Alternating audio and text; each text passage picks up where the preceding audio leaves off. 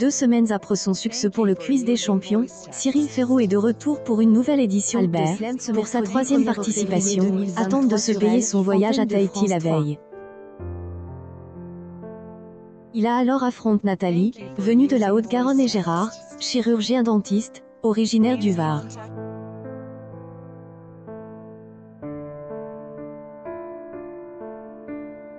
Nathalie a de voiles. Elle avait mangé dans un restaurant étoile, la Tour des Argent.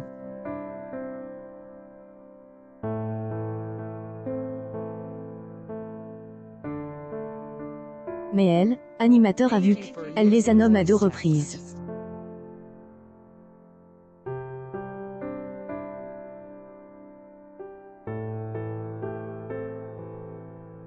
Pour éviter des représailles, il lui a conseillé subtilement arrêtez de le dire.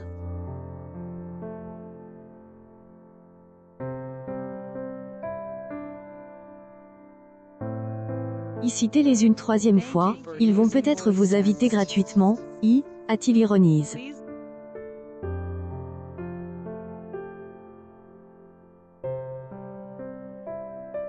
Gérard, de son côté, a révélé sa passion pour la voile et sa traverse de Sanary-sur-Mer. Mais lorsque Cyril Ferraud a demandé depuis combien d'années ils étaient mariés avec sa compagne, le, présentateur a donc été sous le choc, car il ne se souvient plus de la dure de sa relation.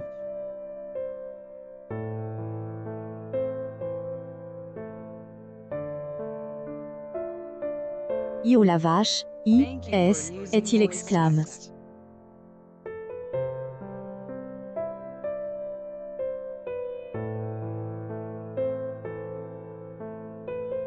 Il a annoncé un drame à Vendée, avoir son information auprès de sa femme, présente dans le public. Cela Noël, a cependant pas empêché d'éliminer le champion Albert. Ce dernier est reparti au bout de deux victoires et 1100 euros dans sa cagnotte. Gérard est tombe sur les pays du G20 en finale.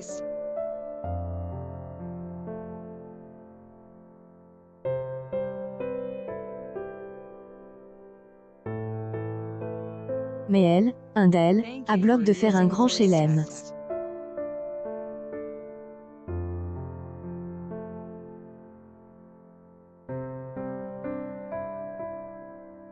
Il a donc 600 euros dans son pactole.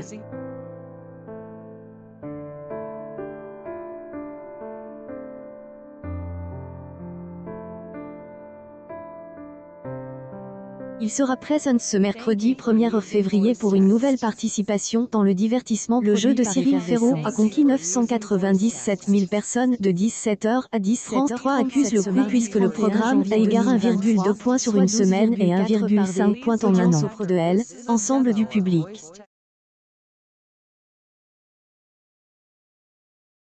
Cependant, la chaîne S est classe devant la fin du téléfilm de TF1, mais N a pas réussi à atteindre les niveaux des Cyril Ferraud est aux commandes de Slam, diffuse du lundi au vendredi aux alentours de 17h sur France 3.